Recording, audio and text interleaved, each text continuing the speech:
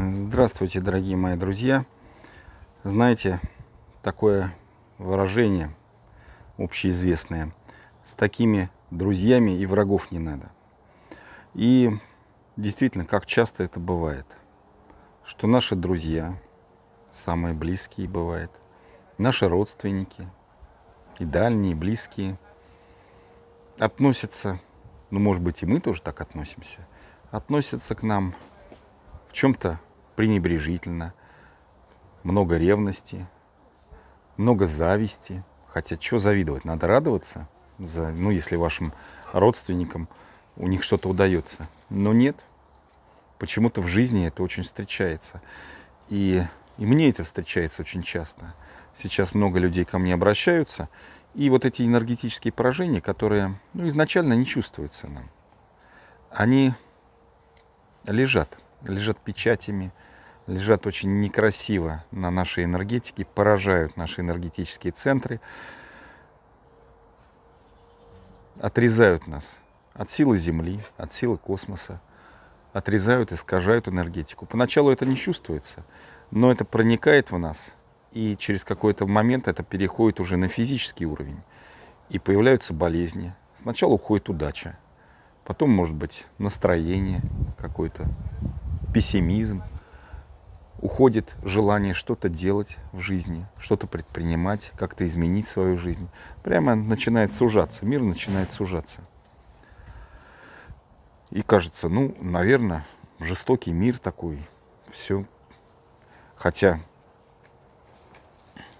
мир миром, а когда выясняешь это, получается, что ближайшие люди, братья, друзья, подруги.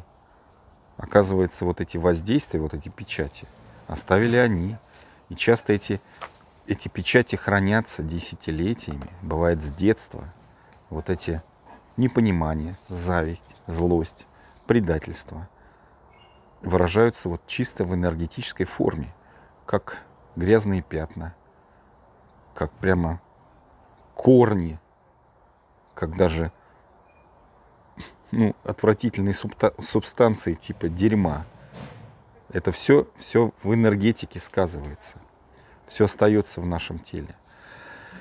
И если человек не занимается какими-то практиками, это продолжает так гнить в нем, отравлять, пускать корни. И часто эти корни вообще проникают везде.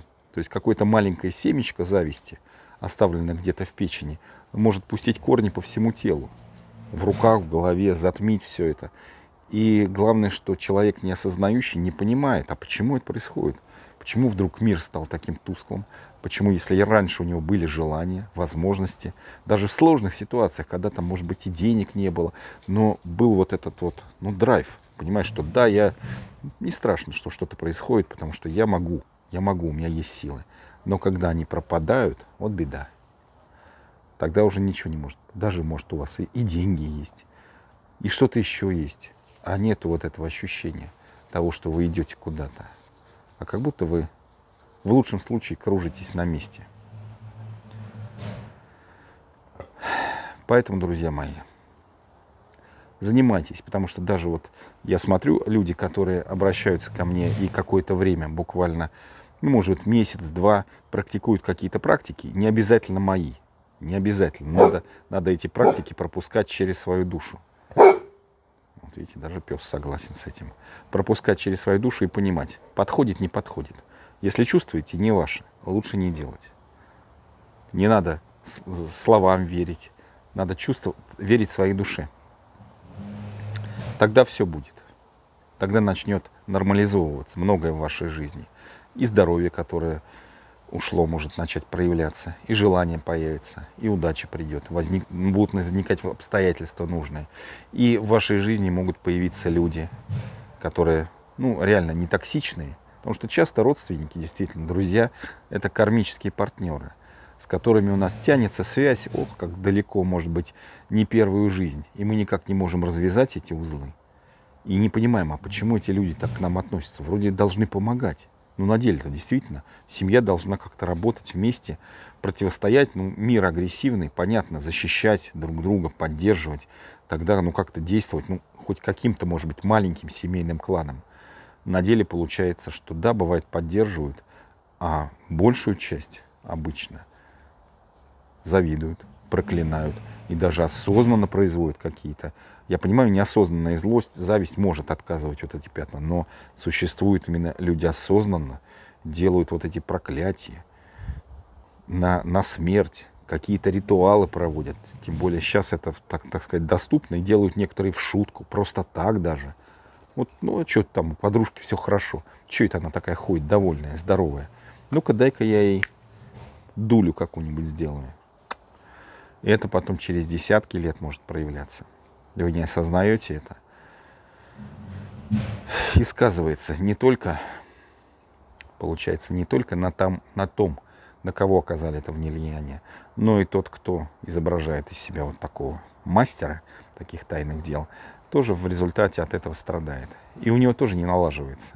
Потому что множество примеров у меня, когда обычно какая-нибудь женщина такая, и вот она вокруг себя, все, начинает практиковаться семьи своей.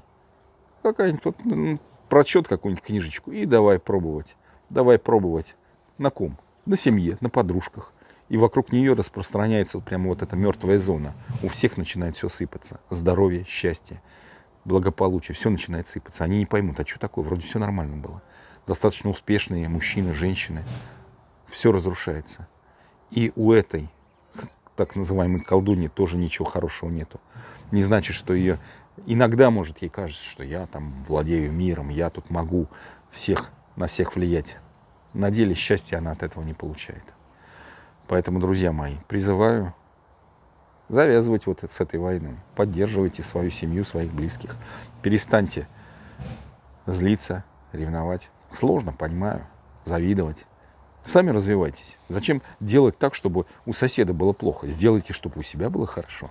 Не для того, что не, не, не, так, чтобы принизить соседа и думать, о, у меня-то получше чуть-чуть, но я сам ничего не сделал. Зато соседа придавил или там родственника. А а сам доволен. Но я-то умный, а они дураки. Счастье это вам не принесет, друзья мои. Поэтому практикуйте энергетическая грамотность. Сейчас в нашем сложном мире, меняющемся и очень опасном, и столько событий будет происходить, надо держаться за своих близких и развиваться. Первую очередь развиваться. Все, извините за такую утреннюю, может быть, нравоучительную такую проповедь. Не хотел. Не хотел из себя умника строить просто как-то накипело вот это. Потому что действительно вот с кем, с кем не разговариваю, провожу вот эти вот консультации с людьми и поражаюсь. Действительно, с такими друзьями и родственниками никаких врагов не надо. Потому что от врагов вы можете как-то отстраниться. А родственники знают все ваши слабые точки и будут давить на них, пока пока не додавит. Или, если вы станете сильным энергетически, вы можете их поднять на свой уровень. Тоже не придавить, не придушить, ах вы мерзавцы на меня тут влияете, а именно поднять, вытянуть из, их, из этого болота, из этих предрассудков. И поднять не только свою энергетику, но и энергетику своих близких, может быть, даже соседей. А может быть, там, целого поселка или дома, где вы живете. Так что давайте с оптимизмом идти. Вот сейчас и небо голубое, и утро хорошее. Все счастливо, друзья мои. Пока.